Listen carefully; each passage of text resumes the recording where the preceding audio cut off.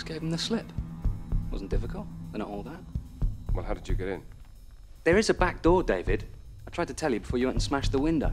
Well, I wasn't the one who was blowing our cover by having a tiff with my boyfriend. He's not my boyfriend. Might be a bit warm, the cooler's off. Thanks, babe.